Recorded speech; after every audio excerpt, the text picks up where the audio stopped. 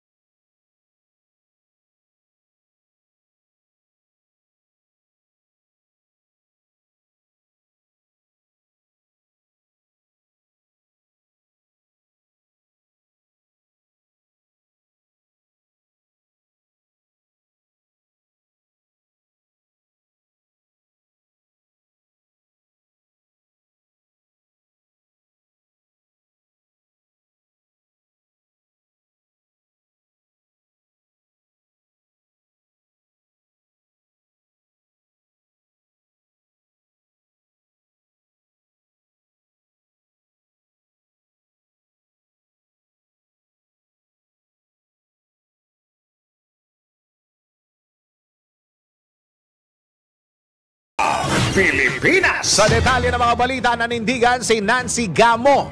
Siya ho yung dating uh, consultant ni Bamban Tarlac Mayor Alice Guo na hindi si Lin Wen Yi ang biological mother o tunay na ina ng alkalde. Sa eksklusibong panayam ng DWIZ, giniit ni Gamo na nakilala niya si Wen Yi Lin bilang incorporator ng mga ko- korporasyon ng alkalde at partner ng ama nito. Hindi ko po kilala ang nanay ni Mayor Alice, pero yung si Lin Winnie, isa po siya sa mga incorporators ng mga korporasyon niya. Kilala ko siya, nakilala ko siya bilang partner na tatay niya. Ngunit Part- partner sa negosyo, Okay. pwedeng partner na personal. Alam ko si Miss Nancy Gamo ay nabanggit na yan sa Senate hearing pero hindi pa yata pumupunta sa Senate hearing ito eh. Binigyan din pa ng dating consultant ni Mayor Guo na wag mandamay ng ibang tao. Tulad ni Wen Yilin sa kontrobersiya na kinasasangkutan ng alkalde. Paano kasing tao si ano si Miss Lin Winnie. Mhm. So, tingin ko no need na kalat ka rin pa yung ibang tao tungkol sa DNA issue. Dahil ako naman, sa pananaw ko, hindi po siya yung tunay na nanay ni Mayor Alice. Eh pero sabi ni Mayor, siya yung nanay, uh, the- Pilipino ang sabi ni Mayor, di ba? Oo, at saka pagka tinawag naman sa ah, Senado, pwede naman magsalita. Oo. Tinigyan po ni ah, Nancy Gamo na hindi pa umaapir sa Senado Ah, dating consultant po yan ni Bamban na Tarlac Mayor Alice Guo sa pa- eksklusibong ah, panayam ng DWIZ. Ronda Pilipinas. Samantala, nasa bansa po, nasa bansa po si uh, Ukrainian uh, President Volodymyr Zelensky para sa isang uh, bilateral meeting kay Pangulong Ferdinand Marcos Jr. Ayon kay ayon sa Presidential Communications Office o PCO, dakos, dakong alas 8 kaninang umaga nang magsimula ang pulong ni na Pangulong Marcos at Zelensky. Dumating kagabi sa bansa ang Pangulo ng, uh, Ukra- ng uh, Ukraine mula sa kanyang uh, sorpresang pagdalo sa IISS o Shangri-La Dialogue dyan po sa Singapore kung saan nagtalumpati po si Pangulong uh, Bongbong Marcos Jr. nitong Sabado po yan nangyari. Posibleng inimbitahan ni uh, Zelensky o iimbitahan ni Pangulong uh, ni Zelensky si Pangulong Marcos sa Global Peace Summit sa Switzerland ngayong Hunyo. Ito ang kauna-unahang pagbisita ni Zelensky sa Pilipinas sa gitna ng uh, nagpapatuloy na digmaan sa pagitan ng Ukraine at Russia. Si Dennis Dennis Antenor Jr. Ronda Pilipinas. Ang ah, hugot po ng ah, ng ah, balitang 'yan eh kaya para kasing ah, nabalitaan ng ah, ni Mr. Zelensky na tinutulungan ng China yata ang ano ang ah, Russia. Oo, so parang humihingi po siya ng tulong sa mga bansa sa Asia kaya nandito po siya ngayon. Yun nga lang napaka-sorpresa dahil walang nakaalam at walang nakatunog. Oh, na-sorpresa even yung ano ha, Ah, ma- ang Malacanang press corps, parang na, nagulat sila, ngi, andito pala ito, parang gano'n. Ano. Sige, tanggap tayo ng isang report. Ininspeksyon na o inspeksyon sa lahat ng imported na cattle meat hihigpitan ng DA. Ah, ito kasi yung sa baka ngayon. Alamin natin ang ah, report ni ah, Patrol ah, 30 Jelly Mendez. Jelly Go! Hihigpitan na ng Department of Agriculture ang pag inspeksyon sa mga cattle meat at meat byproducts na pumapasok sa Pilipinas mula sa ibang bansa. Ito'y matapos ipag-utos ni Agriculture Secretary Francisco Chu Laurel Jr. na magkaroon ng temporary ban sa importasyon ng cattle meat products mula sa United Kingdom bunsod ng kumakalat na panibagong uri ng sakit sa hayop. Matatandaang nakapagtala ng kaso ng bovine spongiform encephalopathy o ang mad cow disease ang UK na pinangangambahang kumalat sa iba pang mga bansa. Dahil dito sa ilalim ng Memorandum Order number 20, pansamantalang ipagbabawal ang lahat ng live cattle, meat at iba pang ah, mga meat products, bovine processed animal proteins at cattle semen mula sa mga nabanggit o sa nabanggit na bansa bilang bahagi ng precautionary measures ng departamento. Lain nitong masigurong malayo sa banta ng anumang uri ng sakit ang local livestock industry at maging sa mga consumer. Tiniyak ng kagawaran ang maigpit na pagbabantay sa lahat ng pantalan at paliparan upang hindi makapasok sa bansa ang mga infected meat products upang maging ligtas ang publiko sa pagkain ng karne ng baka. Ito si Patrol 30 Jelle Mendez nag-uulat para sa impilang mitodong lakas sa DWIZ. Nagbabalita ng tama, naglilingkod ng tama. Kapag may bagong balita, naka-on air, agad-agad, DWIZ Patrol Report. Alam nyo, yung mga baka-baka kasi pang mayaman lang yan. Oo. Ano ba sinasabi natin pag hindi tayo sigurado kakain ng baka? Yun, baka. baka makakain ng baka. Ay, nako. Ah, sige, alamin muna natin. Dito sa Metro Manila, medyo makulimlim na naman. Alamin natin ang pinaka-latest weather report. Pinakahuli, pinaka-latest, pinaka-napapanahon, whether we like it or not, ito ang magiging DWIZ Weather Report. At whether we like it or not, ang mag-report niya ay si Daryl Justin. Daryl, anong magiging weather for today? Ayun, magandang umaga Dennis at magandang lunes ng umaga Pilipinas. Narito ang aking weather report. Patuloy na iiral ang easterlies o yung, yung mga hanging nagmumula sa karagatang Pansip, pa- Pasipiko at aasahan natin na magdadala ito ng mainit na panahon lalo na sa tanghali. Kahit na makulimlim ngayon, eh, asahan pa rin natin yung mainit na panahon at may mga tsansa ng malalakas na pag-ulan sa hapon hanggang gabi dulot naman ito ng localized thunderstorms. May posibilidad rin ng mga pag-ulan sa madaling araw ngayong nasa panahon na tayo ng tag-ulan. Kaya asahan natin yan ha. Umiiral naman ngayon ang frontal system kung saan may mga kaulapan o cloud cluster sa dulong Hilagang Luzon na maaaring magdala ng mga pag-ulan hanggang sa mga susunod na araw sa bahagi ng Batanes at Babuyan Islands pati na sa ilang bahagi ng Hilagang Luzon. Malaki rin ang posibilidad na muling iiral ang southwest monsoon o hanging habagat sa mga susunod na araw na magdadala ng kalat-kalat na mga pag-ulan, maulap na kalangitan ng mga pagkulog at pagkidlat sa bahagi ng Ilocos Region at Kanlurang Luzon. Ayon naman sa pag-asa, wala silang sinusundan na LPA o tropical cyclone at magiging at may maliit na tsansa na magkaroon ng bagyo sa susunod na dalawa hanggang tatlong araw. Ngunit paalala lang na mga biglaang pag-ulan na maaaring maranasan natin gaya nung weekend na nak- nakaranas tayo ng Sabado at kahapon din, dala-dala ito ng localized thunderstorms. Samantala, ngayong araw naman asahan ang maulap na kalangitan na may kalat-kalat na pag-ulan, pagkulog at pagkidlat, lalo na sa Batanes at Babuyan Islands dahil pa rin yan sa frontal system. Habang sa nalalabing bahagi ng Luzon, magkakaroon ng isolated rain showers at thunderstorms ngunit magiging mainit pa rin ang tanghali. Dito sa Metro Manila at sa Tubigaraw maglalaro ang temperatura sa pagitan ng 26 hanggang 35 degrees Celsius habang sa Legazpi Albay naman papalo sa pagitan ng 26 to 33 degrees Celsius. Sa Visayas, asahan ang katulad ng mga weather conditions sa Luzon. Maglalaro ang temperatura sa Iloilo sa pagitan ng 27 hanggang 33 degrees habang sa Cebu naman ang temperatura ay sa pagitan ng 28 to 32 degrees. Sa Tacloban, asahan na nasa 27 to 32 degrees Celsius ang agwat ng temperatura. Ang araw ay sumikat kaninang 5.26 ng umaga at asahang lulubog ito mamayang 6.23 ng gabi. Sa atin namang trivia, alam nyo ba na ang mga puno, ah, mga puno ay may proseso na kung tawagin ay transpiration o ang pagsipsip ng ugat ng puno sa tubig na galing sa lupa. At kapag na-absorb na ng mga dahon, ilalabas niya ito at ibabalik sa atmosphere na nakakapagdulot naman ng cooling effect sa hangin dahilan para lumamig ang paligid. Kaya naman paalala, ng, paalala natin sa lahat na pangalagaan natin ang ating kapaligiran. Oh, hindi pwedeng basta-basta pumuputol ng puno. Lalo na dito sa Maynila, bawal po yan. Na talagang dire-diretso at ah, hindi lang basta mga puro pati yung mga halaman natin ha kasi doon nagmumula yung pagsipsip ng tubig para maibsan din natin ang tubig baha. Yun. Okay, salamat. At, yun, at yan ang aking weather report at konting trivia, whether you like it or not. Ako si Daryl Justin, nagbabalita ng tama, naglilingkod ng tama. Pinakahuli, pinaka-latest, pinaka-napapanahon, whether we like it or not, DWIZ Weather Report.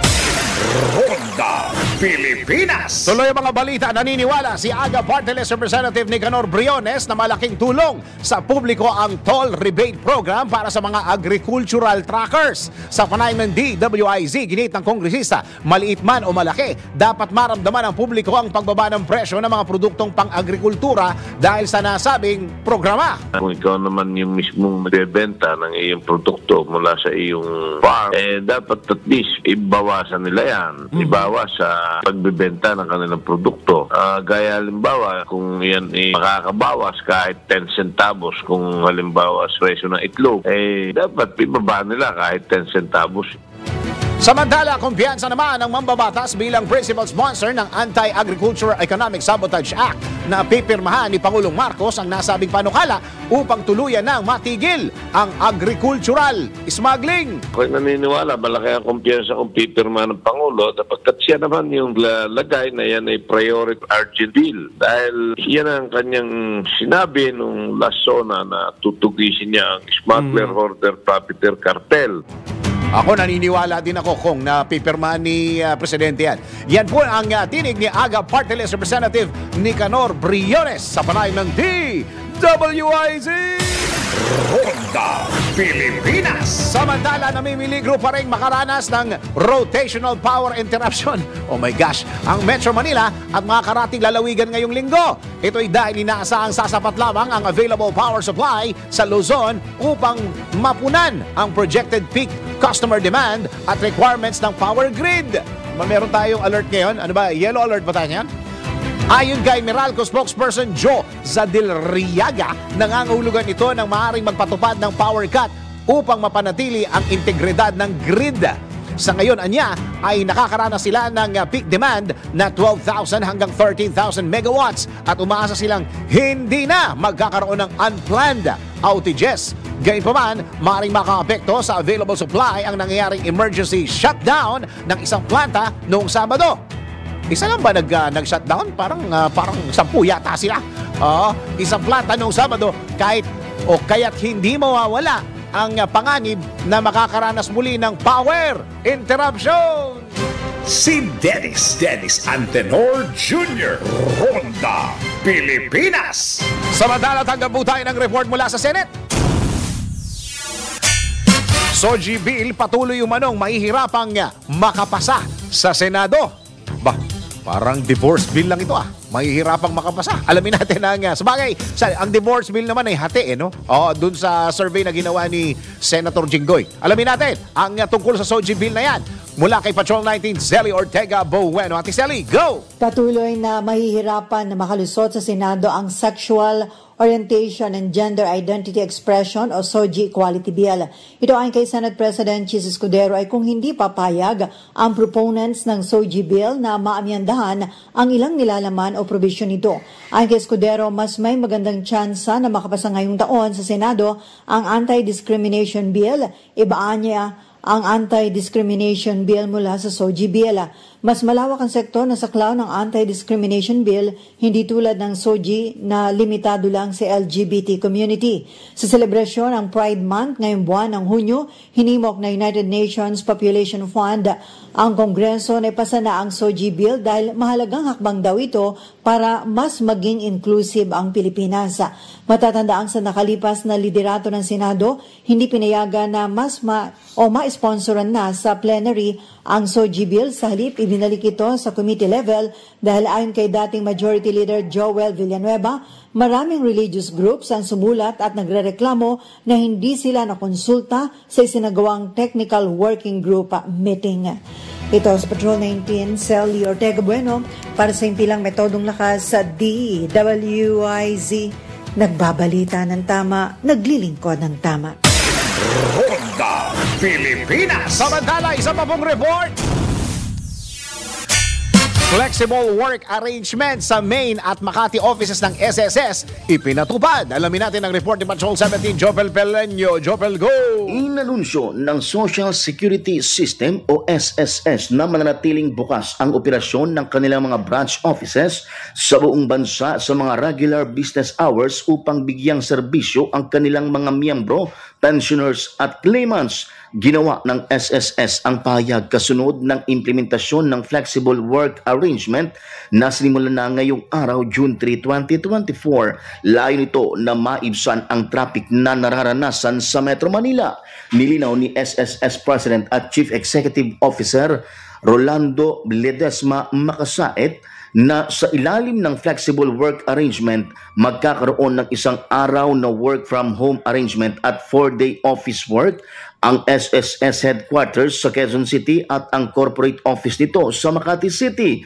Habang bukas naman araw-araw ang lahat ng SSS branch offices nationwide, kabilang na ang SSS Diliman branch. Sinabi ni Makasait na naka-work from home tuwing lunes ang lahat ng SSS employee na pumapasok sa main office sa Quezon City at office work naman mula Martes hanggang Biyernes. Samantala, tuwing Biyernes naman ang work from home ng mga SSS employee na nagre-report sa kanilang corporate office sa Makati at mula lunes hanggang biyernes ang pasok nila sa opisina. Binigyan din ni Makasait na hindi maaantala ang modified work schedule na ito ang business operation ng uh, 254. Binigyan din na makasait na hindi maaantala ng modified work schedules na ito ang business operations ng 254 branch offices ng SSS sa buong bansa. Sinabi ni SSS Executive Vice President Volter Angkas na bukas ang lahat ng kanilang branch offices nationwide ganap na alas 8 ng umaga hanggang alas 5 ng hapon mula lunes hanggang biyernes habang magbubukas naman ang ilang piling SSS offices sa mga mall mula alas 9 ng umaga hanggang alas 6 ng hapon mula lunes hanggang biyernes. Sinabi pa ng opisyal na ipoproseso ng kanilang mga branch office ang lahat ng uri ng SSS transactions kabilang na ang tellering services sa mga tanggapan ng SSS na mayroong tellering facility. Ito si Patrol 17 Chopel Peleño para sa impilang may todo lakas, DWIZ nagbabalita ng tama, naglilingkod ng tama. Kapag may bagong balita, naka-on air, agad-agad, DWIZ Patrol Report! Yun! Okay. So lahat-lahat ay nag adjust na, no? Sa uh, work, uh, sa work. Oh, talagang ganun. Nagbabago ang panahon. Samantala, uy, bakit nga ba tila napapadalas ang turbulence sa himpapawid, ha? Okay, narito po ang isang, ito, sini, siniyasat namin ito eh. Okay, narito po ang isang siyasat special report. Malalimang pag-alam ng mga detalye para maitama ang mga maling balita sa Siyasat. DWIZ Investigative Report.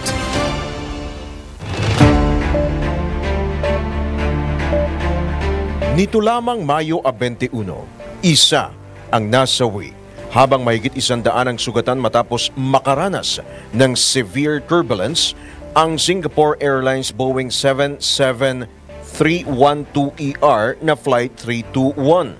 Nagmula ang eroplano sa London Heathrow Airport at patungo sanang Singapore Changi Airport nang makaranas ng matinding turbulence sa airspace ng Myanmar. Dahil dito, nag-emergency landing sa Suvarnabhumi Airport sa Bangkok, Thailand ang nasabing aircraft na may lulan na 229 na pasahero. Limang Filipino naman ang kasama sa mga nasugatan. Kabilang ang dalawang lubhang nasaktan makaraang magtamo ng neck fracture at back injury. Makaraan ng ilang araw ay kinumpirma ni Migrant Worker Secretary Hans Leo Kakdak na nasa maayos ng kondisyon ang dalawang Filipino. kailan naman. Lima po sila, no? At uh, tatlong OFWs at uh, they're being treated currently uh, in hospital. Uh, dalawa sa kanila ay neck injuries. Mga tatlo ay may pa- pamilya sila. So, kasama niya yung asawa niya at saka yung bata. And all, all five are safe and sound but uh, uh, recovering in a uh, Bangkok Hospital, Aro. At uh, yung tatlo ay naasahan natin makakauwi na rin sila ng madaling panahon. Maganda pakikipag-ugnayan, mahusay ang pakikipag-ugnayan ng DFA. Tiniyak naman ni Singapore Airlines Chief Executive Officer Guo Chun Pong na kanilang tutulungan ang mga nasugatan at pamilya ng nasawing Briton. Yesterday, approximately 10 hours after departure, Singapore Airlines Flight SQ321, operating from London Heathrow to Singapore, encountered sudden extreme turbulence over the Irrawaddy Basin at an altitude of 37,000 feet. The flight had 211 passengers and 18 crew members. The pilot declared a medical emergency and diverted the Boeing 777-300ER aircraft to Bangkok, landing at 3 9:45 p.m. local time. We are deeply saddened by this incident. It has resulted in one confirmed fatality and multiple injuries. On behalf of Singapore Airlines, I would like to express my deepest condolences to the family and loved ones of the deceased. We are very sorry for the traumatic experience that everyone on board SQ321 went through. Our priority is to render all possible assistance Noon lamang ding isang linggo, nakaranas din ng turbulence ang Qatar Airways flight na biyaheng Dublin, Ireland mula Doha, Qatar. Bagaman walang nasawi, labing dalawang pasahero naman ang nasugatan. Pero ano nga ba ang turbulence at bakit tila napapadalas ito? Ayon kay AirAsia Corporate Communications and Public Affairs Head Steve Dailisan, na isa ring commercial pilot, ang turbulence ay isang uri ng natural phenomenon sa himpapawid na kadalasang dulot ng nagsasalubong na hangin. meron pong tinatawag na clear air turbulence. Ito hindi po nadedetecto ng ng ah, radar ah, ng weather radar ng eroplano. So nangyayari po 'yan halimbawa pag yung eroplano nasa jet stream po siya at a certain altitude, ah, kahit naman po walang ah, ah, sama ng panahon dun sa area na yon, pero pag nagkaroon po ng disruption ng airflow, nagko-cause po ito ng pag pagalog ano sa eroplano. Clear air turbulence po yung tawag diyan. Meron din naman po kagaya ng binanggit ninyo, ngayon ay panahon na po ng tag-ulan. So ah, madalas po ah, lalo na kung merong sama ng panahon o di naman po kaya may mga namumuong mga low pressure area o di naman po kaya may formation ng clouds, Sa kabila nito, pinawi ni Dailisa ng pangamba ng mga pasahero dahil natural lamang na nangyayari ang turbulence sa himpapawid.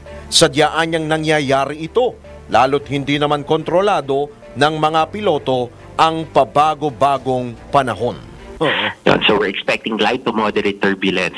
Bahagi naman po ito ng pre-flight planning din natin. So bago pa po kami lumipad ko yung Drew, na-anticipate na po namin kung magkakaroon ba ng weather dito sa area na to. So ah, minsan dinedelay natin yung flight. Huwag pong magagalit yung ibang mga pasahero. Kung minsan sadya po na ah, inaatras po natin yung ating departure para nang sa ganon, pagdating natin dun sa ating airport of destination, sigurado tayo makakalanding kasi nag-clear na yung weather. Kasi alam naman po natin, nagbabago yung panahon Totoo. from time to time. So yan po, parte po yan ng ah, pre-flight planning. Pinayuhan din ni Dailisa ng mga pasahero na ugaliing sumunod sa mga safety precautions tuwing sasakay ng eroplano. Sa amin sa AirAsia, pinaigting din namin yung ah, information drive na dapat po hindi po matakot yung mga pasahero kasi imbes po na matakot sila, sundin po nila yung ah, safety advisory or yung notices na binibigay ng ating cabin crew na kapag sila po ay nakaupo, kahit na po cruising altitude na yung eroplano, suotin pa rin po nila yung seatbelts and at the same time, no, pag nasa loob naman po sila ng lavatory, meron pong mga ah, safety handrails po doon na pwede po nilang kapitan. Ah, and dapat po ma-secure nila yung sarili nila para nang sa ganon, ah, for whatever ah, siguro po ah, sabihin natin na mag- makaranas ng kaunting pag-alog, at least secured din po sila at hindi po sila mag, mag, ano, mag ah, sustain ng injury. Samantala, naniniwala ang siyasat team na dapat magpatupad ang mga airline ng mas mahigpit na in-flight rules para sa mga pasahero. Halimbawa na lamang nito ang mas matagal na pagsusuot ng seat belts lalo kapag magte-take off o magla-landing. Bukod pa ito sa pagpapatupad ng iba pang regulations kapag nasa kalagitnaan ng biyahe. Sa ngalan ng siyasat team, ako, si Drew Nasino, nagpabalita ng tama, naglilingkod ng tama. Ikalat ang tama, ikalat ang totoo. Follow these reports on our DWIZ digital channel, DWIZ News website, Facebook, YouTube, and DWIZ X account. Ang tama ang dapat ikalat sa siyasat. DWIZ Investigative Report. Ronda Pilipinas. Kaya napaka-importante pagka kayo po ay nasa eroplano, sundin po natin ang lahat ng mga announcement ng piloto. Oo. Dahil ultimo yung ah, kahit paglipad na ninyo, yung ah, turbulence na yan, talagang hindi malalaman eh. minsan lumalabas-labas bigla-bigla yan. Kaya pag nakita po ng piloto yan, ha, naramdaman niya o nakita niya dun sa kanyang ah, computer na merong ah, ganyang ah, disturbance, eh sundin ho natin siya. Mas maganda ho, sundin natin siya. Okay?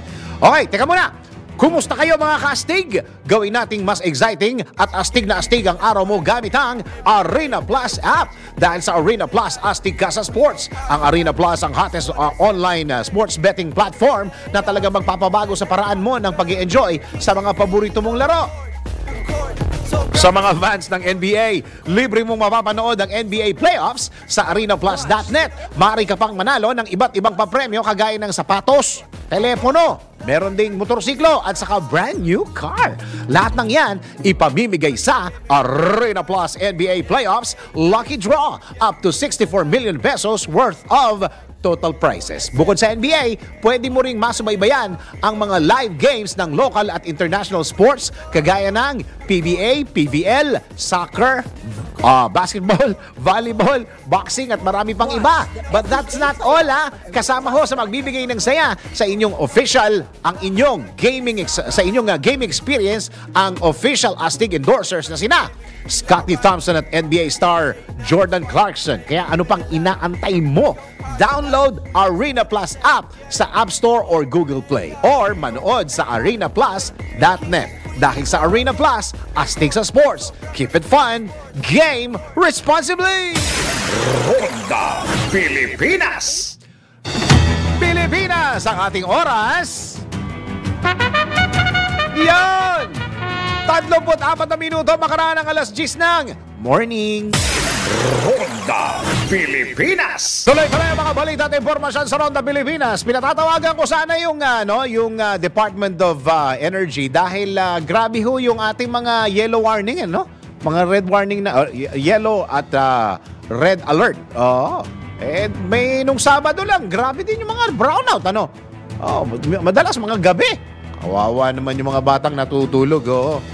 Oh, doon sa mga taga Department of Energy, yung telepono nyo nagri-ring, kami yun. oh, mga taga Department of Energy ha. Yung tumatawag, kami yun. Magtatanong lang ho kami regarding dun sa yellow alert. Oo, ilan hong ah, planta ang tumatakbo ngayon at ilan ho ang ah, naka-maintenance shutdown. Oo. Yung iba daw ay unscheduled. Oo. Kaya yung tumatawag, kami yun. Sige, tuloy ang mga balita. Ronda Pilipinas. Sagutin nyo na! Sagutin nyo na! Tanggap po tayo ng report! Antas ng tubig sa Angat Dam, lalo pang sumansad. Ha? Nag-uulan na, sumasansad pa? Alamin natin ang report ni Patrol 30, Jelly Mendez. Jelly, go! Sumadsad pa sa 178.88 meters ang level ng tubig sa Angat Dam ngayong araw mula sa 179.7 meters na naitala kahapon. Batay sa datos ng Pag-asa Hydrometeorology Division, lalong bumulusok ang antas ng tubig kahit pa may mga pag-ulang nararanasan sa Metro Manila at iba pang karatig lugar. Ayon sa Pag-asa, nabawasan pa ng 0.21 meters ang level ng tubig sa naturang dam na mas mababa sa minimum operating level na 180 meters.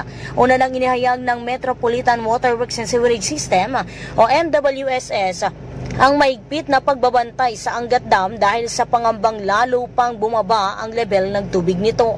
Umaasa ang MWSS na hindi maaabot ng Angat Dam ang critical water level na 160 meters. Samantala bukod naman sa Angat, bumaba din ang tatlo pang dam sa bansa, kabilang na ang Ambuklaw, Magat at ang Kaliraya Dam. Ito si Patrol 30 Jella Mendez nag-uulat para sa impilang may todong lakas sa DWIZ. Nagbabalita ng tama, naglilingkod ng tama. Ronda Pilipinas. Samantala, isa pa, isa pang report. Manhunt operation sa lima sa walong pumugang preso. Diyan po sa may San Jose del Monte City Police Office, nagpapatuloy. Alamin natin ang report ni Patrol 17 Jopel Peleño. Jopel, go! Ongoing ang manhunt operations ng San Jose del Monte City Police Office sa lima sa walong pumugang persons under PNP custody. Kasunod ito ng naganap na jailbreak o pagtakas ng mga bilanggo dakong alas 3 ng hapon kahapon. Bunso nito, sinabi ni San Jose del Monte City Police Chief, Police Lieutenant Colonel Edilmar Alviar na nahuli at naibalik na nila sa piitan ang tatlo sa limang tumakas na preso. Pawang may kinakaharap ani ang kasong illegal drugs at illegal possession of firearms ang mga ito. Agad namang inalerto ng San Jose del Monte City Police ang mga kalapit na bayan sa buong lalawigan ng Bulacan na maglunsad ng drug net operations at paganahin ang Bulacan Shield Alpha. Ito si Patrol 17 Chopel Peleño para sa impilang may todong lakas. DWIZ nagbabalita ng tama, naglilingkod ng tama. Ronda Pilipinas. Samantala, isa pang report. Magiging pa siya ng Senado sa panukalang economic chacha ha? Sana daw, daw ay igalang ng Kamara. Oh, sana daw, igalang. Okay, alamin natin ang report ni Patrol 19 Sally Ortega. Bueno, Ate Sally, go! Sana daw ay galang ng Kamara de Representantes sa ang magiging desisyon ng Senado sa panukalang economic chacha sa ilalim ng bagong Senate leadership. Ito ang tugon ni bagong Senate President Chis Escudero sa sinabi ng tatlong top officials ng Kamara na dapat ipasa ng bagong Senate leadership ay economic chacha sa harap ng tumaas na bilang ng mga Pinoy na sumusuporta sa chacha.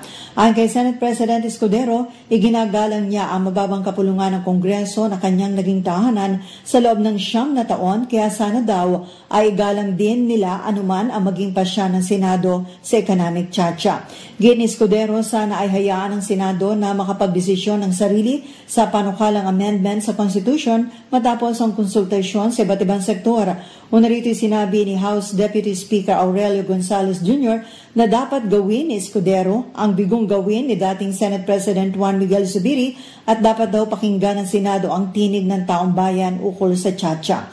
Sinabi ni Gonzales, Deputy Speaker J.J. Suarez at House Majority Leader Manuel Jose Dalipe na sa isang survey lumitaw na 57% ng mga Pinoy ang sumusuporta sa Chacha kaya dapat daw ay maipasa na ito sa ilalim ng liderato ni Escudero.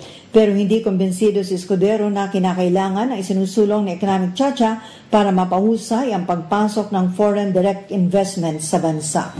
Ito sa Patrol 19, Sally Ortega Bueno para sa impilang metodong lakas sa DWIZ.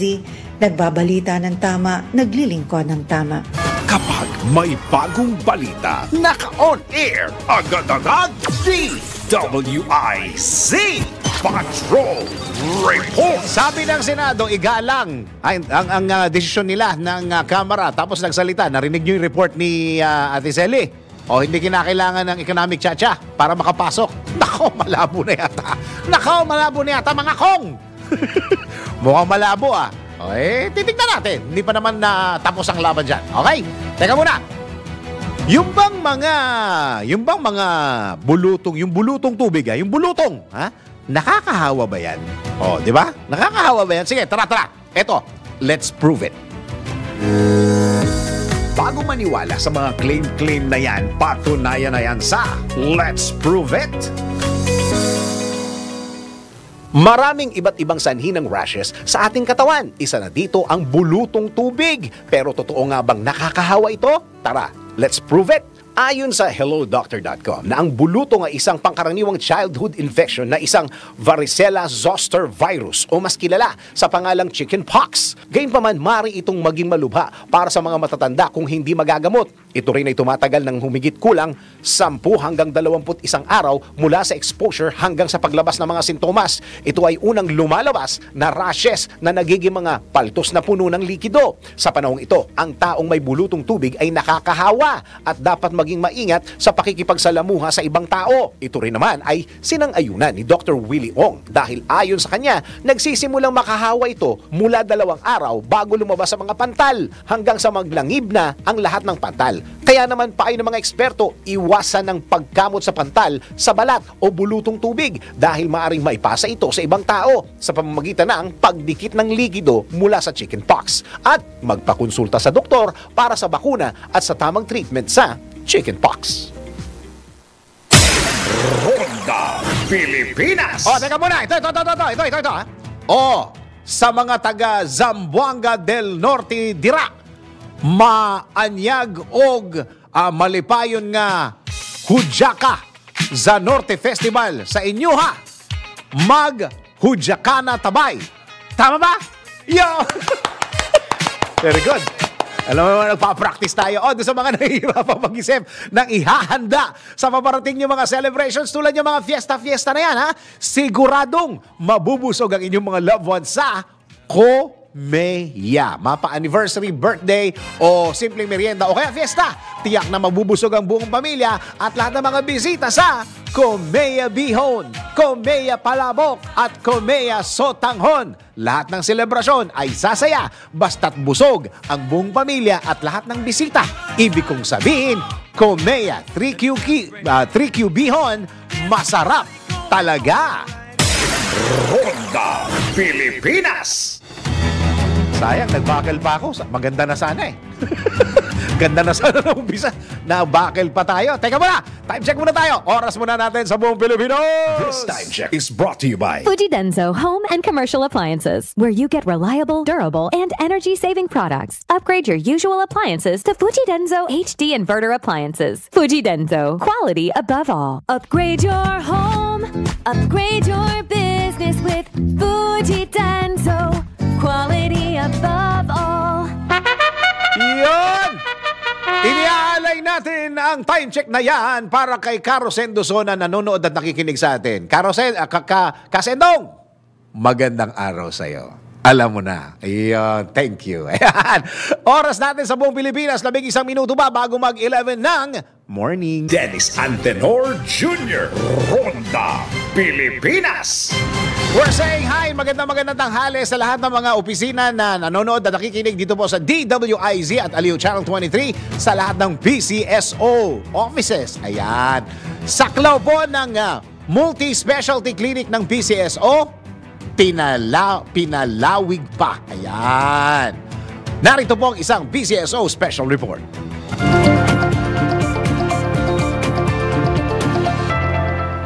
Isa sa mga serbisyong hatid ng Philippine Charity Sweepstakes Office o PCSO ang libreng medical at dental check-up sa publiko. Ayon kay Dr. Ruel Aparato, Division Chief ng PCSO, araw-araw ay may available na espesyalistang handang tumulong. Kailangan lamang magpatingin muna sa isang general practitioner bago ma-schedule sa isang espesyalista. Alamin natin ang schedule mula kay Dr. Aparato. Bago po kayo mapunta sa specialty clinic, kailangan makita mo na kayo ng in-house physician. Tapos sila po bahala mag, uh, mag-refer sa inyo kung kailangan nyo po talaga makakita ng specialista at ini-schedule po kayo. Ngayon, ang mga schedule po natin para sa mga specialty clinic, pupisahan natin sa Monday. Ang Monday po, cardiology, yung sa puso at saka neurology, psychiatry. Ting umaga po yan ng Monday. Pag Martes naman po, yun, at sa umaga, yung nephrology sa kidney. At sa hapon po, yung pulmonology at saka yung sa ENT.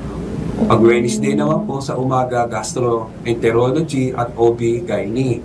Pag hapon naman ng Wednesday, yung po endocrinology at urology. Pag Thursday, yung po sa orthopedics natin at yung Friday, yung sa opta, ophthalmology sa mata. At yan ang report na hindi umuurong sa pagtulong. Main Barreto nagbabalita ng tama, naglilingkod ng tama. Uy, alam nyo ba ng katumbas ng bawat taya sa Philippine Charity Sweepstakes Office o PCSO ay ikaw ang gawa? Sa bawat ticket mo, siguradong may matutulong ang Pinoy sa kanilang pangangailangan medikal. Dahil sa PCSO, basta kawang gawa at pagtulong hindi kanila uurungan. Kaya palaging tandaan, ang bawat taya may kawang gawa. Ronda Pilipinas. Samantala, para sa ating balitang sports, status ni Boston Celtics player Kristaps uh, Porzingis. Ha? Alamin natin, o para sa NBA uh, Finals ni uh, Kristaps Porzingis. Yan, yung status. Alamin natin sa Sports News mula kay Daryl Justin. Sa mundo ng palakasan, ang latest malalaman sa DWIZ Sports News. Nag-participate si Boston Celtics big man Kristaps Porzingis sa practice session ng koponan bilang paghahanda sa nalalapit na paghaharap ng Celtics at Dallas Mavericks sa NBA Finals. Ang dinaluhang practice ni Porzingis ay ang unang pag-ensayo ng team magmula noong nanalo at makapag-advance sa final round doong nakaraang linggo. Dagdag pa ni Mazula na confident siya sa progress na ipinapakita ni Kristaps. Matatandaan na noong Game 4 ng kanilang first round matchup laban sa Miami Heat ay na-injure si Porzingis sa isang non-contact play kung saan nagkaroon siya ng right calf strain. Wala pang konkretong sagot at ini-evaluate pa ng coaching team ng Celtics kung makakapaglaro na si Porzingis sa Game 1 ng NBA Finals sa darating na Webes ng gabi sa Amerika, Biyernes ng umaga dito sa Pilipinas. That portion was brought to you by Arena Plus. Sa Arena Plus, astig sa sports. Download Arena Plus app now in App Store or Google Play. You can watch it also on arenaplus.ph. Ronda Pilipinas. Ito na ang latest, bagong-bago, fresh na fresh. DWIZ Showbiz News. Porzingis pala yun. o, di ba? Marami alam sa NBA. o, ito, showbiz muna tayo. Dina Bonnevie, inaming naging clinically dead na siya dati. Showbiz balita mula kay Anton.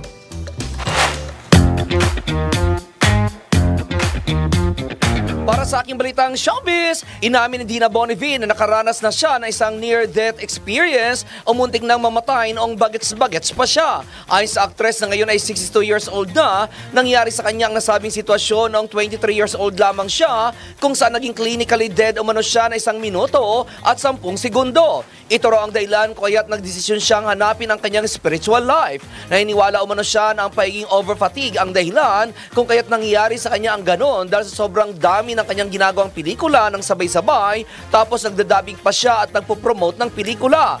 Nangyari umano yon nang mag-guest siya sa variety show ni Alma Moreno na Loveliness kung saan may dance number sila. Alam niya raw na allergic siya sa smoke machine kaya't pagkatapos umano ng performance nila ay nahilo siya at nahirapan na huminga kaya't agad daw siyang tumakbo sa kotse at umuwi.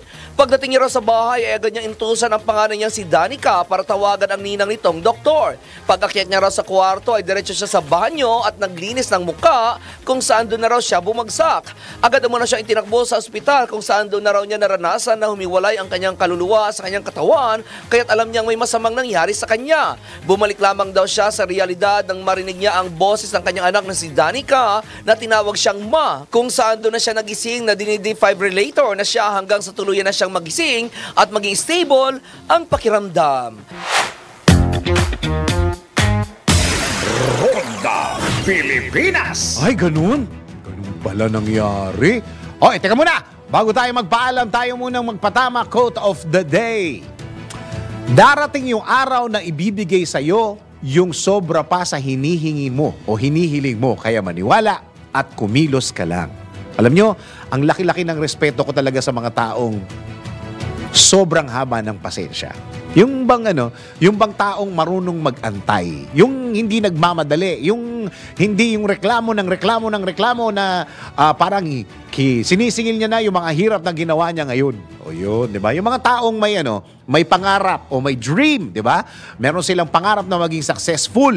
Una, hihingi ng guidance sa Diyos 'yan. Syempre, hingi ng pasensya 'yan, 'di ba? Pangalawa, ah, na ang imagination niyan, yung finished product na nung hinihingi niya. Ayun. Kaya yun ang nagiging gasolina niya. Ayan. Okay. Yan ang kabuuan ng mga balita at impormasyon sa Ronda Pilipinas. At tabayanan po ang susunod na programang Yes, Yes, Yo, Topasyo with Miss Juvie De Guzman. Maraming maraming salamat Pilipinas. Ako ang iyong naging tagapagbalita. Ako si Dennis. Dennis Antelo Junior.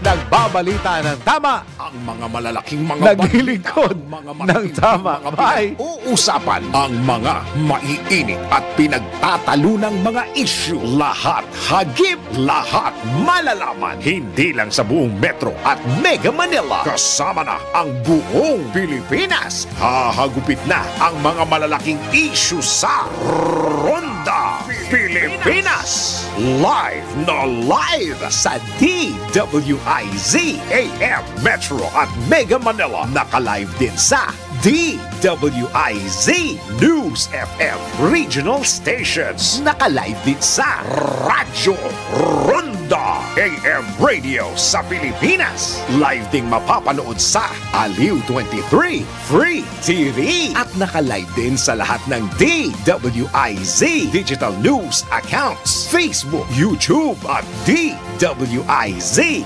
News website. Ronda Pilipinas. Wala nang mahuhuli sa balita. Wala nang maiiwanang issue na hindi mo alam. Ngayon, updated ka na sa Ronda Pilipinas. Kasama si Dennis. Dennis Antenor Jr. Ronda Pilipinas. Monday to Friday,